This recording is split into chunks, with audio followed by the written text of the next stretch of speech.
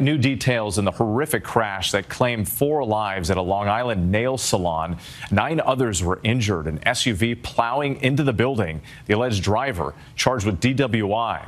Authorities now saying one of the dead was an off duty police officer. Janice Yu from our New York station WABC is on the scene. Tonight, new details in a deadly car crash into a nail salon just outside New York City that took the lives of at least four people and left nine injured. Upon arrival, we uh, immediately uh, identified that this was a mass casualty incident. The 64 year old suspect in that crash, Steven Schwalb, now charged with driving while intoxicated. Police in Suffolk County say he was traveling at a high rate of speed through a parking lot in Deer Park around 4:30 p.m. Friday when he allegedly plowed into Hawaii Nail and Spa.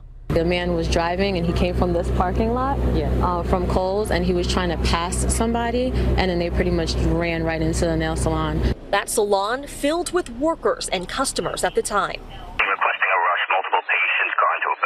The deadly crash leaving this massive crater as first responders searched for survivors. The SUV's red lights still flashing from deep inside the building.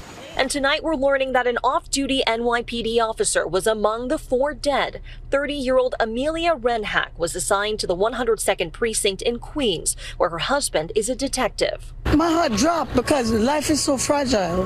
Life is so fragile. With that driver is in the hospital with non-life threatening injuries. He's expected to be arraigned at a later date. All right, Janice, Yu thank you.